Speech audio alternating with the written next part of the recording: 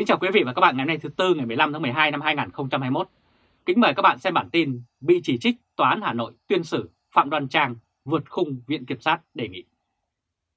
Mặc dù bên công tố đề nghị mức án là 7 đến 8 năm tù, nhưng chiều ngày 14 tháng 12, nhà báo Phạm Đoan Trang đã bị Tòa án Hà Nội tuyên xử 9 năm tù giam với cáo buộc cô đã làm, tàng trữ, lưu hành các tài liệu, bài viết có nội dung nhằm chống nhà nước. Trong thực tế xét xử, ít khi tòa đưa ra mức án cao hơn đề xuất của bên công tố. Thông thường tòa xử dưới mức đề nghị của Viện Kiểm sát. Tuy nhiên, tại phiên tòa này họ đã tuyên 9 năm tù giam, trong khi Viện Kiểm sát chỉ đề xuất 7 đến 8 năm tù mà thôi. Đây là hình ảnh bà Phạm Đoan Trang trong phiên tòa. Phiên tòa diễn ra với tổng cộng 6 luật sư bảo chữa cho bà Trang bao gồm các ông bà Lê Văn Luân, Phạm Lệ Quyên, Ngô Anh Tuấn, Đặng Đình Mạnh, Nguyễn Văn Miếng, Trịnh Vĩnh Phúc.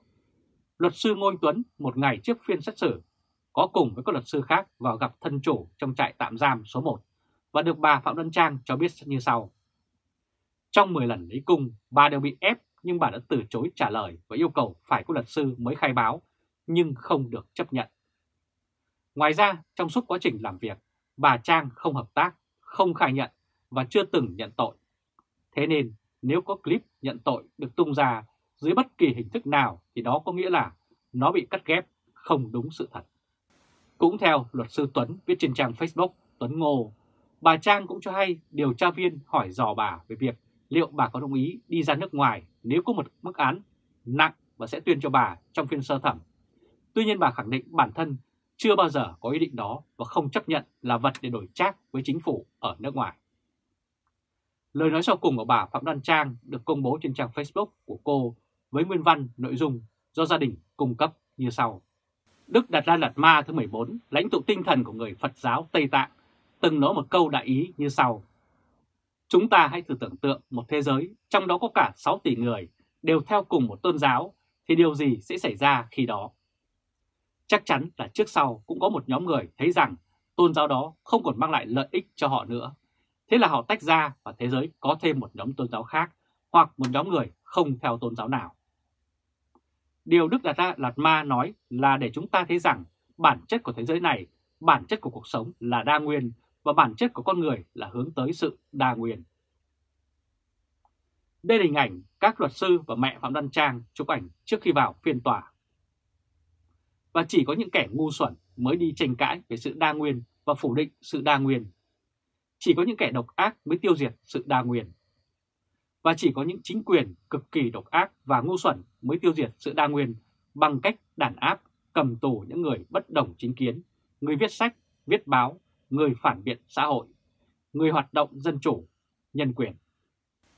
Trong một xã hội dân chủ, nếu có một công dân viết sách, viết báo hoặc trả lời phỏng vấn báo chí nước ngoài nói lên những điều chính quyền không muốn nghe, thì cách hành xử văn minh có thể là gì?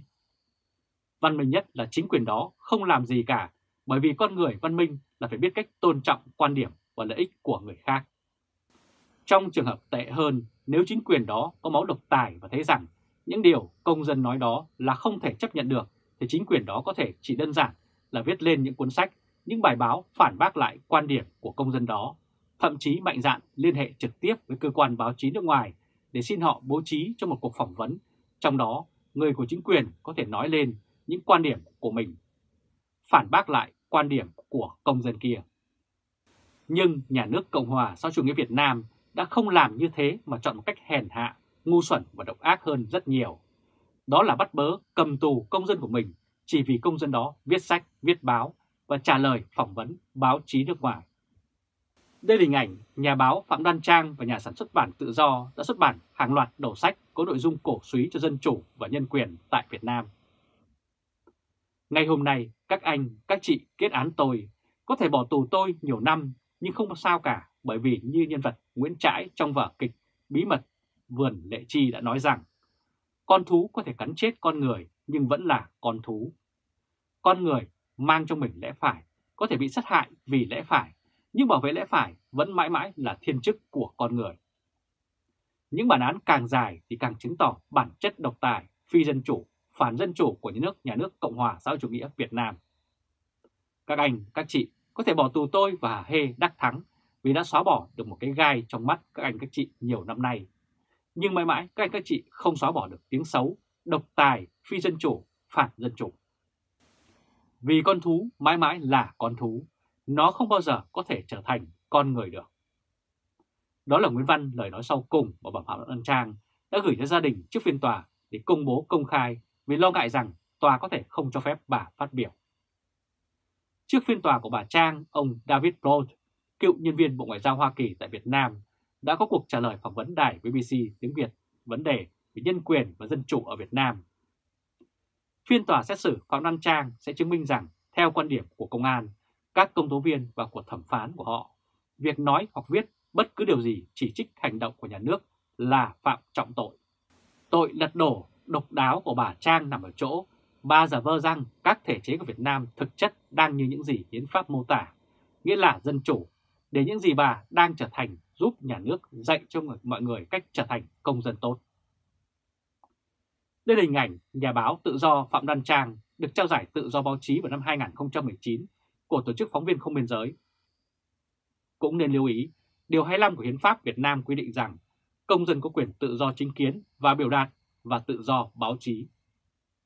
Trong khi đó, Điều 88 của Bộ Luật Hình sự năm 1998 của Việt Nam lại nói rằng tuyên truyền, xuyên tạc và bôi nhọ chính quyền nhân dân là một tội ác. Ông David Brown đã nói như vậy. Và ông có nhận định gì về một nhóm nhỏ những người ủng hộ nhân quyền ở Việt Nam hay không? Và tương lai của họ sẽ như thế nào? Và vai trò của chính phủ Biden trong các vấn đề này? Hội nghị thượng đỉnh về nhân quyền và dân chủ vừa diễn ra ở Việt Nam mà Việt Nam lại không được mời cũng như không bị lên án. Tại sao lại như vậy? Đài BBC đặt câu hỏi. Ông David Brown nói rằng cái được gọi là phong trào dân chủ đang bị xáo trộn hoàn toàn. Các nhà lãnh đạo giỏi nhất của phong trào dân chủ Việt Nam đang ở trong tù hoặc lưu vong, trong khi nhiều người trong số còn lại đang lãng phí thời gian của họ để ngưỡng mộ Donald Trump. Chế độ hiện nay có quyền kiểm soát hà khắc hơn nhiều với những gì công chúng có thể xem trên Internet. Chế độ này đã triển khai công nghệ và chiêu trò để gạt bỏ những lập luận chỉ trích có căn cứ.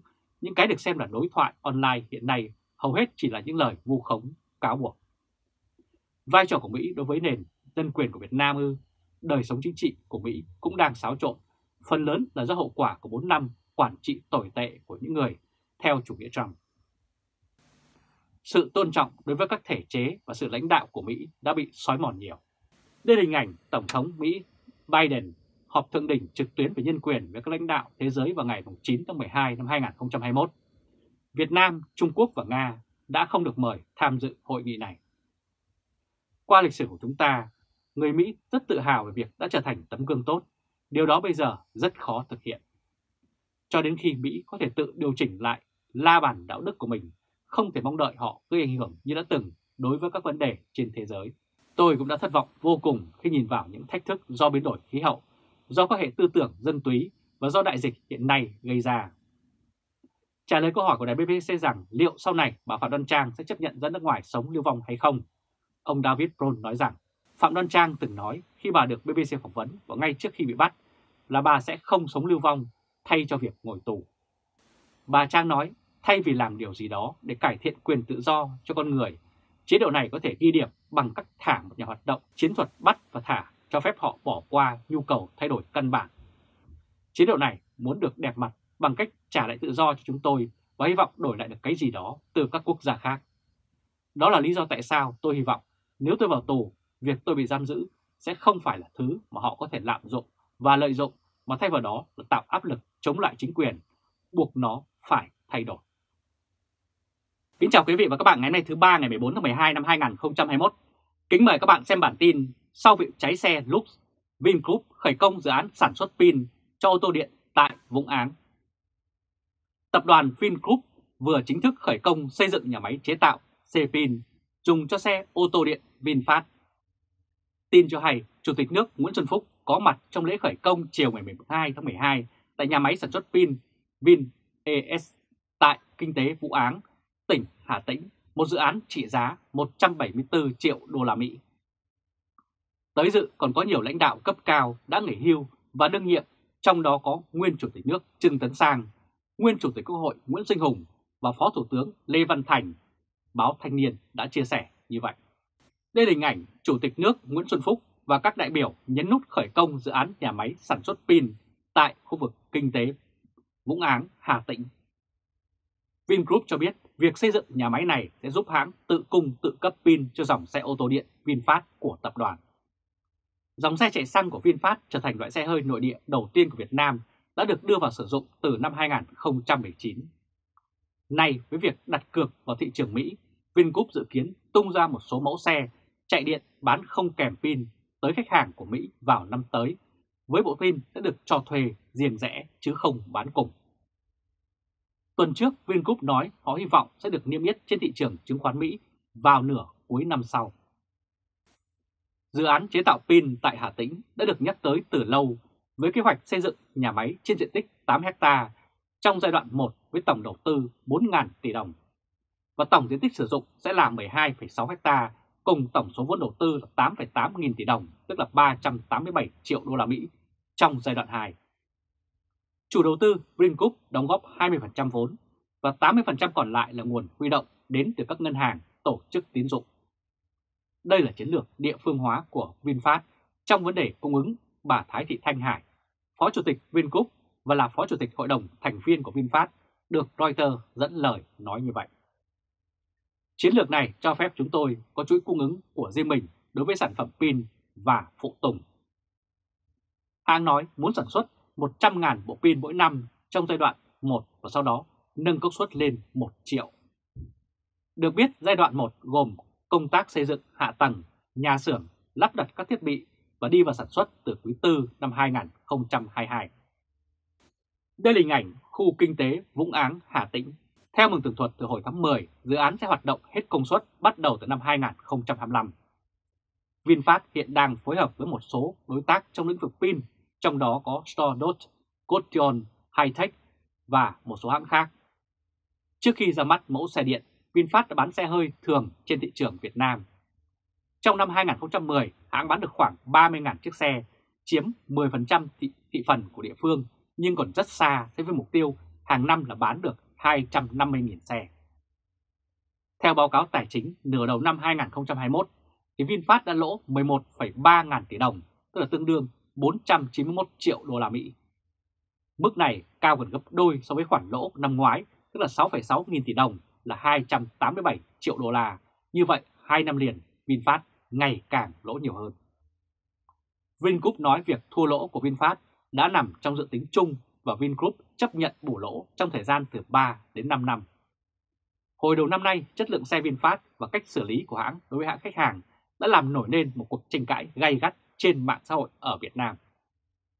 Một thông tin cực kỳ bất lợi xảy ra cho hãng ô tô VinFast khi một vụ cháy xe VinFast Lux A2.0 đã xảy ra vào khoảng 17 giờ 59 phút, tối vào ngày 5 tháng 12 vừa qua ngay tại vỉa hè đường Tuệ Tĩnh, thành phố Vinh, Nghệ An. Đây là hình ảnh chiếc xe VinFast Lux A2.0 khi đang đỗ trên vỉa hè đường Tuệ Tĩnh bất ngờ bốc cháy dữ dội. Dù cảnh sát đã đến dập lửa nhưng chiếc xe đã bị thiêu rụi. Điều kỳ lạ là ngay sau khi báo điện tử Soha đưa tin và được nhiều trang khác dẫn nguồn đăng lại, thì bất ngờ bản tin trên báo điện tử Soha lại tự xóa đi chữ tất cả các dòng có với chữ là xe VinFast Lux A2.0 và thay vào đó là chữ xe ô tô mà thôi, hết sức trùng trùng. Tuy nhiên, dấu đầu mà vẫn lòi đuôi, đường link trên tờ báo soha.vn vẫn còn nguyên dòng chữ xe VinFast bất ngờ bốc cháy dữ dội khi đậu trên vỉa hè. Và dư luận cho rằng khả năng báo Soha đã bị can thiệp từ phía VinFast nên đã thay đổi bản tin một cách mù mờ để cho bạn đọc đừng chú ý đến nhãn hiệu VinFast. Bởi vụ cháy xe có thể dẫn tới khách hàng lo sợ về chất lượng xe mang nhãn hiệu xe VinFast, nhất là khi VinFast mới đây công bố sẽ xuất khẩu ô tô vào thị trường Mỹ trong năm 2022 và đang kêu gọi cổ phần hóa vốn đầu tư tại Mỹ. Tuy nhiên, theo một số dư luận địa phương xác nhận thì chiếc xe bị cháy khi đang đậu trên vỉa hè đường Tuệ Tĩnh, thành phố Vinh chính xác là xe VinFast Lux A2.0 trị giá hàng tỷ đồng. Hiện nay, video và ảnh chụp chiếc xe này đang cháy cũng không thể giấu được đây chính là xe VinFast vì dư luận xã hội đã chia sẻ rất nhiều. Lý do đích thực vì sao báo điện tử Soha đã tự thay đổi bản tin theo hướng tung hỏa mồ và xóa dòng chữ tên xe VinFast Lux A2.0 hiện vẫn chưa thể kết luận. Chuyện xe VinFast tự bốc cháy không phải mới lần đầu xảy ra. Tuy nhiên, bản tin xe VinFast Lux A2.0 bị cháy trên cao tốc vào hôm 26 tháng 4 năm 2020 chỉ dừng lại ở quan sát bề ngoài. Những lý do cụ thể với điểm phát cháy và chất lượng các bộ phận liên quan cũng không hề được công bố. Bản tin trên tờ báo Sài Gòn tiếp thị vào hôm 27 tháng 2 ghi nhận rằng chiếc xe VinFast Lux SA 2.0 bị cháy khi đang lưu thông trên tuyến cao tốc Thành phố Hồ Chí Minh Trung Lương, khiến cộng đồng mạng xã hội xôn xao. Đây là hình ảnh một chiếc xe VinFast bị gãy càng ở quận Gò Vấp, Thành phố Hồ Chí Minh vào ngày 16 tháng 2 năm 2021. Đoạn video lan truyền trên mạng xã hội cũng cho thấy phần thân chiếc xe cháy rụi, phần mâm xe cũng cháy và rơi vụn ra chứ không còn được nguyên hình dạng. Xe VinFast Lux A2.0 hiện có 3 phiên bản với giá từ khoảng 1,5 đến 1,8 tỷ đồng mỗi chiếc. Sự kiện VinFast công bố thành lập công ty VinFast Singapore và chuyển toàn bộ sở hữu VinFast Việt Nam thành sở hữu Singapore cũng đang khiến dư luận quan tâm vì dường như toàn bộ quyền sử dụng 355 hectare đất và vô số ưu đãi đã lọt vào sở hữu nước ngoài. Mặc dù Vingroup giải thích đó là bước đi để đưa cổ phiếu VinFast lên sàn chứng khoán Mỹ. Nữ Phó Chủ tịch Vingroup nói rằng để có thể niêm yết tại Mỹ, VinFast bắt buộc phải thực hiện việc niêm yết qua VinFast Singapore, vì Singapore là nước đã có sự liên thông với Mỹ trong lĩnh vực này. Trên mạng xã hội, một số người am hiểu về kinh doanh và luật quốc tế nhìn vào một khía cạnh khác, họ cho rằng Vingroup đã hô biến mọi ưu đãi mà nhà nước Việt Nam dành cho VinFast có ở nhà máy Hải Phòng nay thành ưu đãi cho công ty Singapore. Đặc biệt là lô đất rất giá trị với 355 ha, nhà máy VinFast Hải Phòng đã được nhà nước giao với giá rẻ bèo, nay được hợp thức hóa thành sở hữu của nước ngoài. Một doanh nhân người Việt Nam, ông Nguyễn Tấn Thành có hơn 29.000 người theo dõi trên Facebook, viết trên trang Facebook cá nhân rằng cấu trúc hiện nay Vingroup sở hữu VinFast, sau khi tái cấu trúc thì Vingroup sở hữu VinFast Singapore và VinFast Singapore sở hữu VinFast. Đây là hình ảnh nhà máy VinFast tại Hải Phòng xây dựng trên lô đất 355 hecta. Điều này có nghĩa là tất cả các ưu đãi của đất nước dành cho VinFast ở Hải Phòng, ở Hà Nội vân vân giờ thành ưu đãi cho công ty ở Singapore. Các ưu đãi này sau khi qua Singapore sẽ được quy thành tiền để bán qua cổ phiếu.